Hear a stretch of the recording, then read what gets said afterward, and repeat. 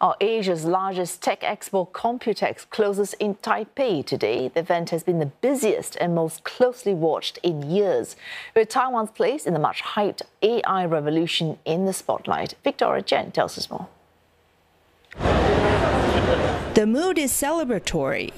At this year's annual PC Expo, known as Computex, the reason for celebration is clear that Taiwan will be at the forefront of the AI revolution largest AI supercomputer in Taiwan today is in Kaohsiung.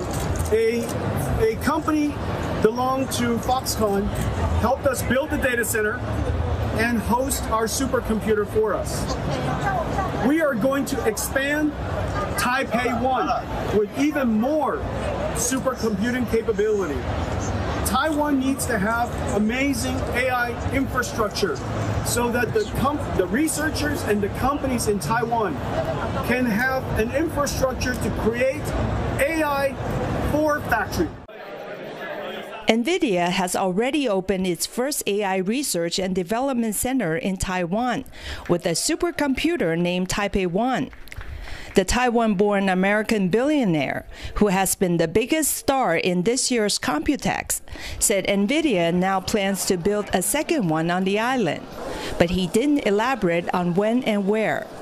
Excellent engineers, great technology, excellent work ethic, great spirit. It's a, it's a fantastic place. Not to be outshined, AMD CEO Lisa Su, also known for her Taiwanese roots, unveiled the company's latest AI chip while highlighting Taiwan's importance in the global supply chain. Maybe say overall, uh, you know, Taiwan is a very important area for us to do research and development. Uh, we already have over a thousand people here uh, doing um, significant amount of development for all of our product portfolio. Media reports say that AMD may invest $155 million to build an R&D center, possibly in the southern part of the island. Also drawing media attention is the attendance of Intel CEO Pat Gelsinger. During his keynote speech, he highlighted the close relations Intel has with Taiwan. Intel has had its operations in Taiwan since 1985, and next year at Computex, we're going to have a little 40-year birthday party for Intel and Taiwan.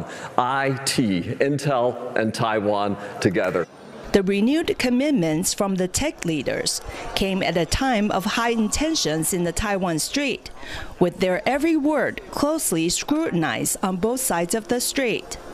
For instance, Jensen Huang's reference of the island as a country sparked heated discussions on Chinese social media. While in Taiwan, local media zoom in on whether he would meet President William Lai, who touted Taiwan's key role in semiconductors and AI in his inauguration speech last month that angered Beijing. It's been a busy week for Taiwan's tech industry. On the sideline of the Computex, TSMC, Taiwan's most important tech company, also completed its leadership transition. CEO C.C. Wei has taken over as chairman, becoming the first person to hold the dual roles in years. Echoing the sentiment at the Computex, Mr. Wei said that he expects developments around AI to drive the industry's recovery in 2024. Victoria Jen, CNA, Taipei.